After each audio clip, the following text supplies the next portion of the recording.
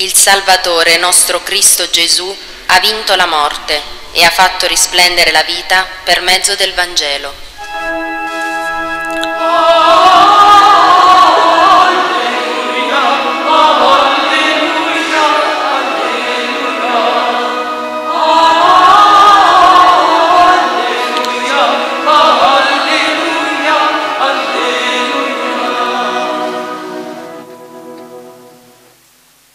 Signore sia con voi. e con il tuo spirito. Dal Vangelo secondo Marco. Gloria a te, o Signore. In quel tempo gli scribi che erano scesi da Gerusalemme dicevano, Costui è posseduto da Belzebul e scaccia i demoni per mezzo del capo dei demoni. Ma egli li chiamò e con parabole diceva loro, Come può Satana scacciare Satana? Se un regno è diviso in se stesso, quel regno non potrà restare in piedi. Se una casa è divisa in se stessa, quella casa non potrà restare in piedi. Anche Satana, se si ribella contro se stesso ed è diviso, non può restare in piedi, ma è finito. Nessuno può entrare nella casa di un uomo forte e rapire i suoi beni, se prima non lo lega. Soltanto allora potrà saccheggiargli la casa. In verità io vi dico, tutto sarà perdonato ai figli degli uomini, i peccati e anche tutte le bestemmie che diranno. Ma chi avrà bestemmiato contro lo Spirito Santo non sarà perdonato in eterno, è reo di colpa eterna. Poiché dicevano, è posseduto da uno spirito impuro. Parola del Signore. Lode a te, o Cristo.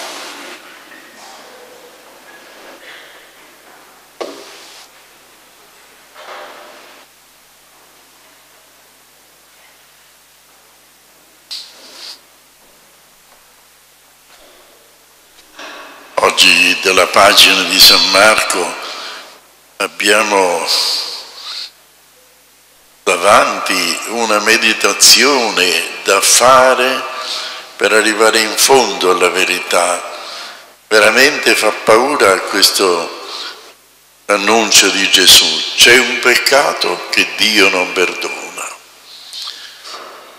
Noi sappiamo che la misericordia di Dio è infinita, sappiamo che l'amore di Dio è eterno e infinito, sappiamo che Gesù è venuto per perdonare i nostri peccati e lasciare alla Chiesa il potere di rimettere i peccati perché il peccato uguale demonio e demonio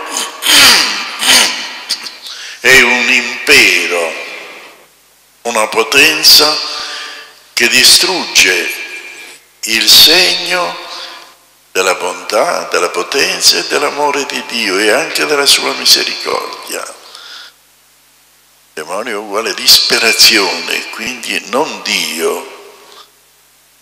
Ecco qua che Gesù dice, c'è un peccato che non viene perdonato, è il peccato contro lo Spirito Santo. Vediamo di capire bene se noi siamo a rischio di commettere questo peccato,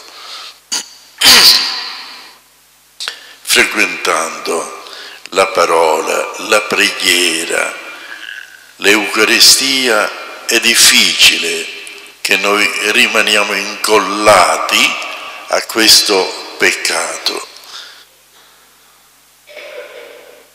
Dicono che Gesù è amico del demonio perché fa i miracoli. Ma chi è l'autore principale dei miracoli? Il demonio? Oh, il demonio è un ingannatore, vi deve sempre dire, oh, fa questo e andrà bene, non morirete se tu mangi questo frutto. Sempre contro Dio, ma nell'espressione cosa buona, cosa buona e giusta che noi lodiamo Dio. Il demonio dice cosa buona e giusta che tu non ti metti con Dio perché lui ti tradisce. Allora l'affermazione è uguale, sia quella di Dio e sia quella del nemico di Dio. Ma mentre Dio è veramente bontà per essenza e opera il bene, il demonio fa proprio il contrario. Tant'è vero che è stato chiamato dai teologi la scimmia di Dio, deve copiare la scimmia, guarda come fa la persona e ricopia. È terribile e pericoloso, bisogna tenerlo ben lontano, ragionare secondo Dio. Vi ricordate quella volta che Gesù aveva spiegato bene la ragione della sua venuta, la missione sua, quella di annunciare il Vangelo del Padre e di salvare e poi dice per questo morirà sulla croce.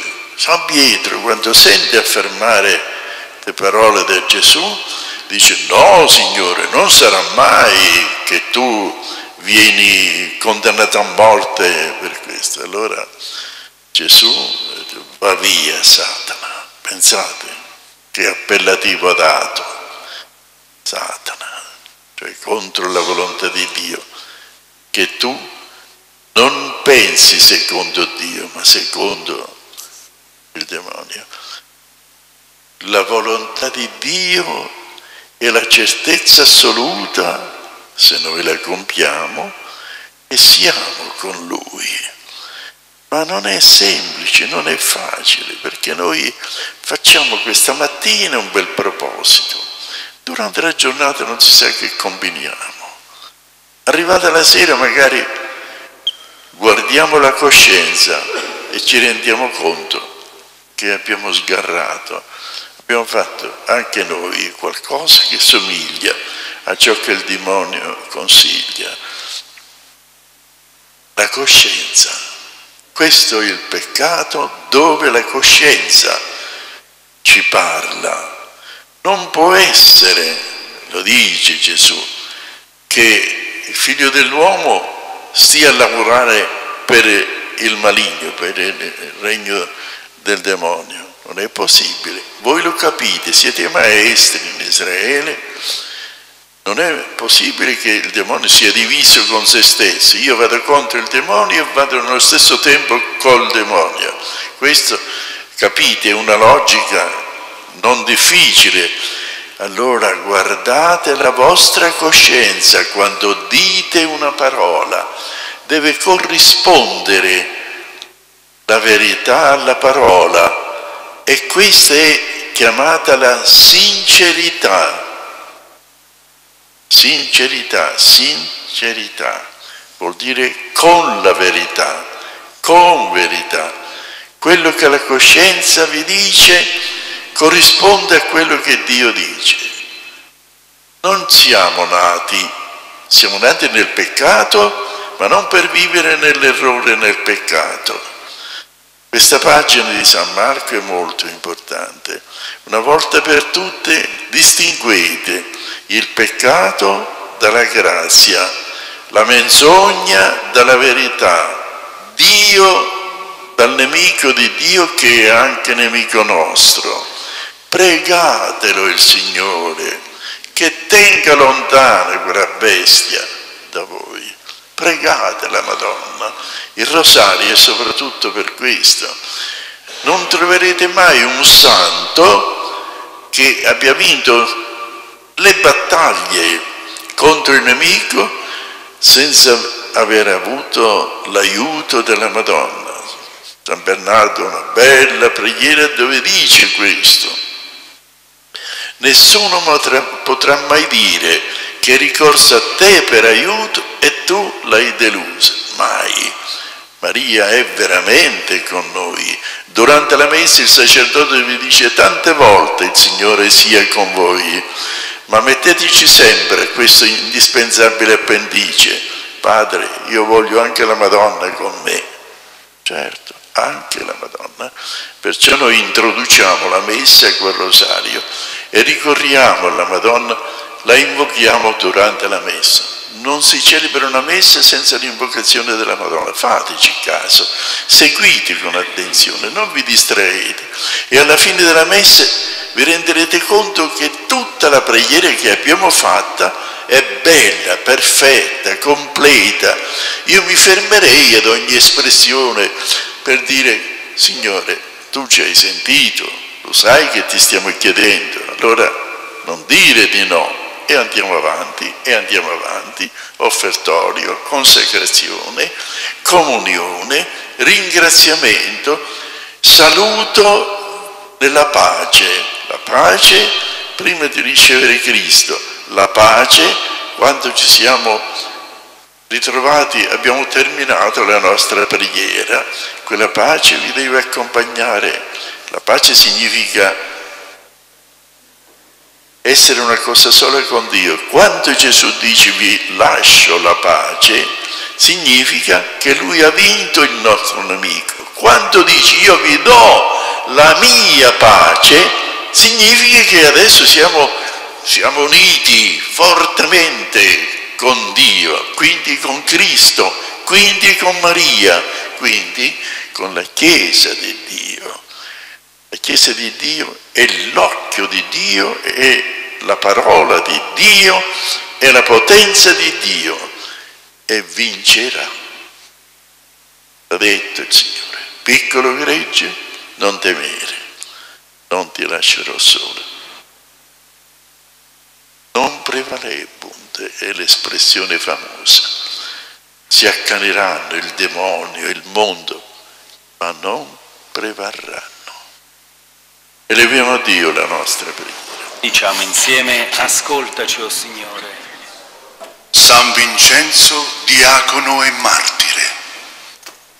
Questo martire di Saragozza è gloria della Spagna e della Chiesa.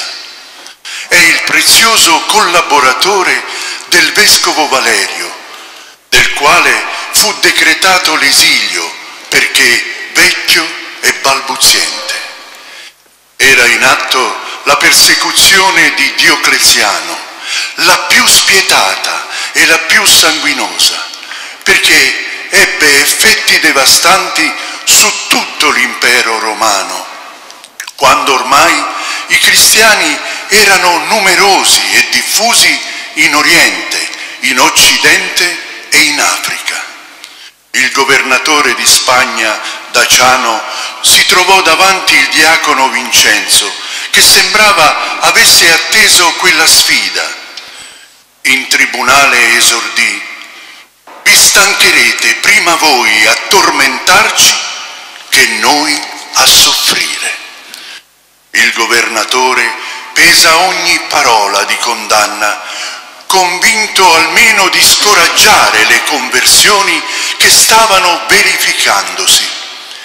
I supplizi si susseguono, fustigazione, tortura, pena del cavalletto, uncini di ferro, ossa slogate, carni a brandelli, poi gettato nella cella buia cosparsa di cocci taglienti. Quando Daciano si avvicina al martire ancora vivo, si trova ad ascoltare queste parole. Tu mi fai un servizio da amico, perché ho sempre desiderato suggellare con il sangue la mia fede in Cristo. Tu distruggi un vaso di argilla, ma non riuscirai a lacerare chi è dentro di me e lui sarà il tuo giudice. Daciano ordina di lasciare in pasto alle belve quel corpo, ma un grosso corvo lo difende. Allora lo fa chiudere in un sacco e legato ad un macigno lo fa gettare nel fiume. Il corpo risale e galleggiando finisce sulla riva. I cristiani lo raccolgono e lo seppelliscono con tanta venerazione. Sant'Agostino ogni anno, il 22 gennaio, ricorrenza della morte, tesseva l'elogio del grande martire. Celebre una sua frase. Il diacono Vincenzo aveva il coraggio nel parlare, aveva la forza nel soffrire. Era il coraggio e la forza che riceveva da Gesù.